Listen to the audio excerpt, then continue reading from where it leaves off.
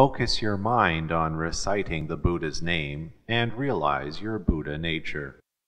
Reciting the Buddha's name throughout your daily activities.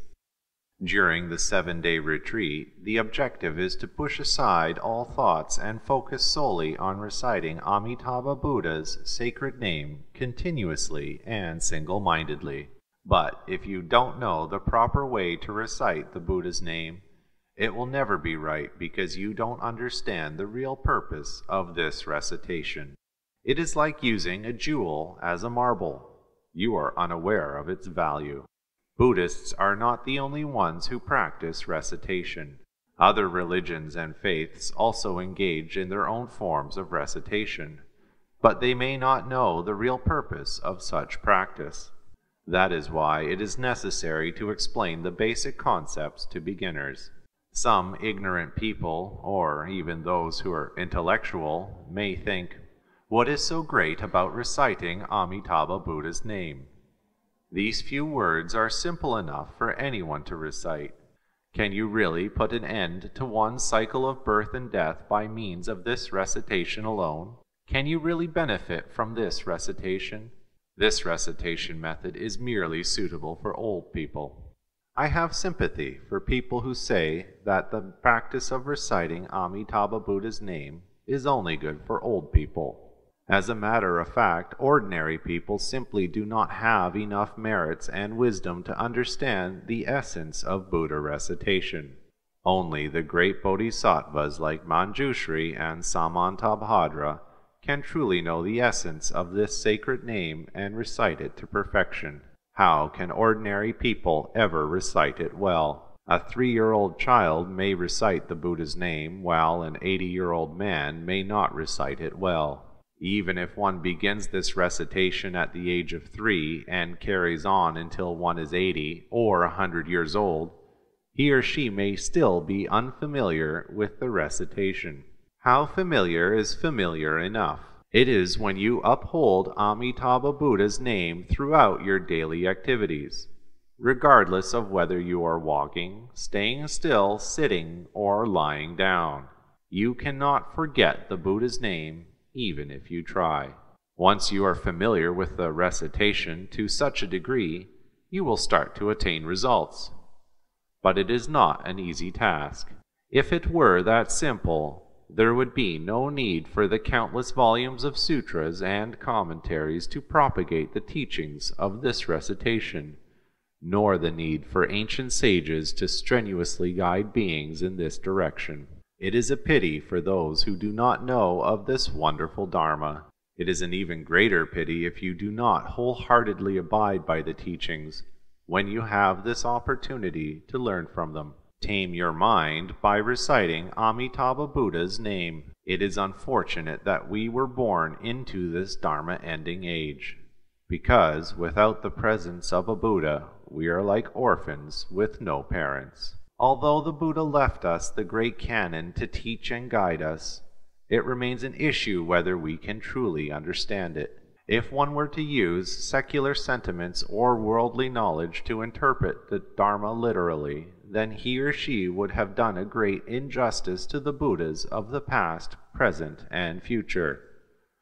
Often the scholars who study Buddhist scriptures claim to know them and are able to explain the teachings of the Buddha but they do not actually understand them. One who truly does understand the Scriptures would not make such an immodest claim. Any understanding achieved in a purely academic way would be insubstantial, because the Buddha Dharma is for one to earnestly practice and uphold. The Buddha Dharma is like a compass and map that guides you. A Buddhist sutra may cover the ten directions of the Dharma realm and sentient beings of the ten Dharma realms. The broadness of these texts cannot be fathomed by your ordinary cleverness. One who can truly understand it and benefit from it are those who are able to accept their own ignorance and take a down to earth approach. You can only advance in Buddhist teachings when you bring forth the utmost sincerity and put to rest those erroneous thoughts, or else you will never truly enter through the doors of Buddhism. The Buddha came to our Saha world to open up the treasury of truth and lead sentient beings to understand and comprehend it. You cannot begin to realize Buddhahood if you do not possess the correct knowledge and perception of the Buddhas. You would be lucky enough to avoid going astray, much less realize Buddhahood. When we recite the Buddha's name, we must recite it with every thought and with a sense of Dharma joy. What does this mean? Take, for example, when a child eats their first candy. He or she will continue to eat one candy after another. Likewise, when bees are attracted to nectar, they will always fly back for the nectar, even if they were chased off. When you recite the Buddha's name with this level of consistency and persistence, you are well on your way.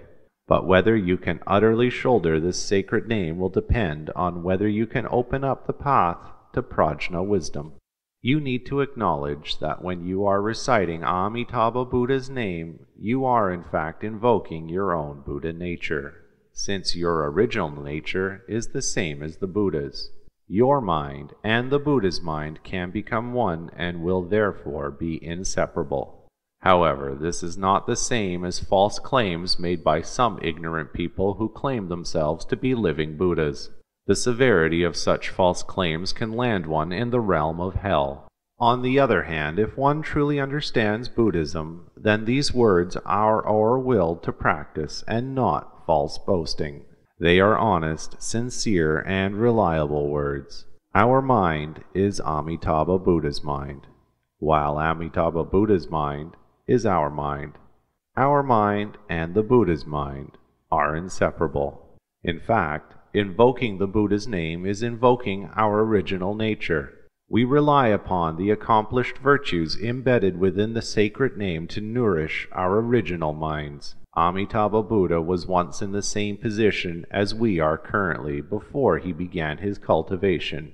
If we can devote ourselves to practice like Amitabha Buddha did, then we will also achieve Buddhahood then that would be truly comprehending the fact that the mind, the Buddha, and sentient beings do not differ from one another. Distinguishing between the Buddha and the demon. Within a hundred scholars who all possess a high level of academic knowledge, it is still very rare to find even one who can write about his or her experiences with Buddha recitation. To find out whether you have applied your efforts in the correct way, I can give you a mirror that reflects all evilness. When you recite the Buddha's name with Dharma joy, or see light, or flowers, or when someone is preaching the Dharma to you, does your mind remain subtle and serene? even unperturbed by your surroundings afterwards, then you are on the right path. Regardless of what you see, you should treat your surroundings as a dream or an illusion. Acknowledge them, but do not be attached to them. If the experience is pleasant and positive, do not be overjoyed. If the experience is negative and frightening, do not feel afraid or be troubled by it. If you see evil spirits or headless ghosts haunting after you, or people trying to kill you with a knife or a gun, or even wild beasts pouncing at you, these are all due to past negative karma. Perhaps these beings are seeking revenge, or some are actually seeking help to be released. Therefore, we need to dedicate the merits from Buddha recitation to all of our enemies and foes. You should recite the Buddha's name with a Bodhi mind, and not be afraid of those negative images. Ignore them as though they do not exist. Whatever experiences a Dharma practitioner encounters during his or her practice, he or she will need to keep it in their hearts unless they are disclosing the experience to a genuinely wise adviser who can open up their mind and offer sound advice and guidance. In that case, you should openly and accurately express everything. The supposedly good advisers of today may be familiar with the doctrines, but some may not have attained any actual achievements in practice. If one is truly knowledgeable, he or she can tell at a first glance another's character, because one's state of mind is reflected through one's actions. An experienced person will know right away if a person is good or bad. If one is well cultivated, he or she can tell right away if someone else has the abilities. If you are not able yourself, you will not be able to judge if others are. Certainly, you can still acquire a better understanding of Buddhism by studying the Dharma texts and listening to the words of experienced ones. I merely recount the wise teachings of the ancients. If anything, perhaps I have studied just a bit more scriptures and listened to a bit more Dharma teachings. I do not possess superior knowledge or virtues. I am just honestly offering my genuine affections and guidance towards you all with words derived from life's experiences to enlighten your Buddha nature. All sentient beings have the same Buddha nature. Therefore, practicing Buddhism is not an extra curriculum, but an obligation we should undertake since we are all Buddhas in nature. But to realize our Buddha nature, we must engage in Buddha recitation. If you did not possess the Buddha nature within, how could you ever attain enlightenment? You can only get metal from an iron mine, and you can only get gold from a gold mine. How can you get any gold in a goldless mine? You must all understand and believe this. Why else would you be reciting the Buddha's name? We can attain Buddhahood because we possess the Buddha nature. But if you choose to become slaves to secular attachments, such as the seven emotions and the six desires, or the five desires, and become a troubled sentient being who is bound to greed, then you will not have any blessings. If you cannot share your knowledge with others, then you do not possess wisdom. You must eliminate such petty thoughts and bring forth an enormous mind in order to amass virtues and obtain incredible results. Otherwise, your mind cannot be one with the Buddha's mind. Then, when do you expect to become a Buddha? This is why we must initiate the Bodhi mind, not only benefit ourselves, but also to benefit others as well when we recite the Buddha's name and aspire to be reborn in the Western Pure Land. Ten kalpas ago, there was no Western Pure Land. That land was created by Amitabha Buddha after innumerable kalpas of cultivating a myriad of good deeds and the six paramitas. Amitabha Buddha made great vows to create this land for all sentient beings. We also possess the same original nature as Amitabha Buddha. So if he can create such a land, why can't we? Of course, this would require a step by step process. At this moment, we should focus on creating monasteries so people can come and benefit from the Dharma. Without a monastery, where would people go for practice? This is how causes and conditions come into play. Buddhism is based on the relationship between causes, conditions, and their effects. At last, I hope everyone can devote themselves to planting good causes and thus receiving rewarding effects. Now, the best thing for everyone is to recite the Buddha's name and ultimately be reborn in the Western Pure Land of ultimate bliss. I hope everyone can obtain results in their recitation and achieve rebirth in the Western Pure Land.